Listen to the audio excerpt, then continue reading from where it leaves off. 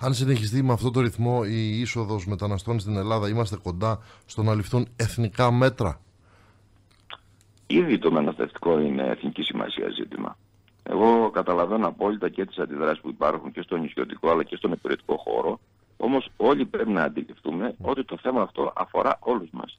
Δεν αφορά μόνο την νησιωτική Ελλάδα. Αφορά και την υπηρετική Ελλάδα και συνολικά τη χώρα και συνολικά το πολιτικό σύστημα. Και βεβαίως πρωτίστως αφορά την Ευρώπη.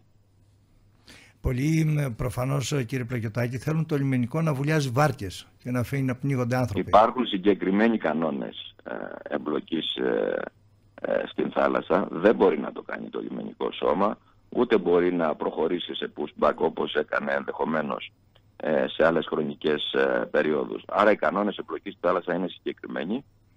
Ε, υπάρχουν συγκεκριμένοι ευρωπαϊκοί κανονισμοί ε, και, και αντιλαμβάνεστε ότι τέτοιου είδους συμπεριφορές είναι μακριά από την στάση του λιμενικού. Πότε έκανε, σε ποιες περιόδους έκανε pushback?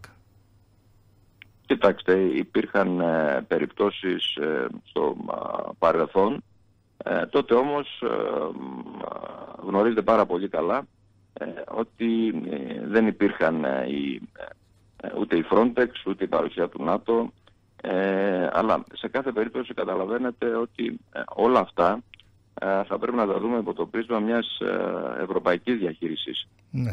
του ζητήματος, διότι ξέρετε μας μας υπερβάλλουν όλα αυτά. Επειδή το λένε από την παράταξή σας, γι' αυτό πολλές φορές οι φωνές από την κομματική βάση, από ακραίους... Ε, επαναλαμβάνω ότι, επαναλαμβάνω ότι οι, εμπλοκή, οι κανόνες εμπλοκής είναι συγκεκριμένοι ε, στην θάλασσα. Ε, Παρ' όλα αυτά όμως ε, εμείς θα συνεχίζουμε να φυλάτουμε τα θαλάσσια σύνορα της πατρίδας μας ενισχύοντας και με μέσα αλλά και με προσωπικότητα στελέχη του λιμενικού σώματος. Μάλιστα.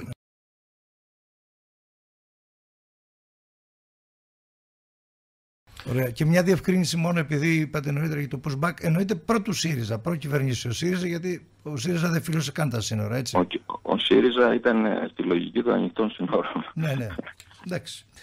Ο Υπουργός Ναυτιλίας και Μεταναστευτική Πολιτικής Γιάννης Πλακιωτάκης και τον ευχαριστούμε. Υπουργέ, καλή σας μέρα.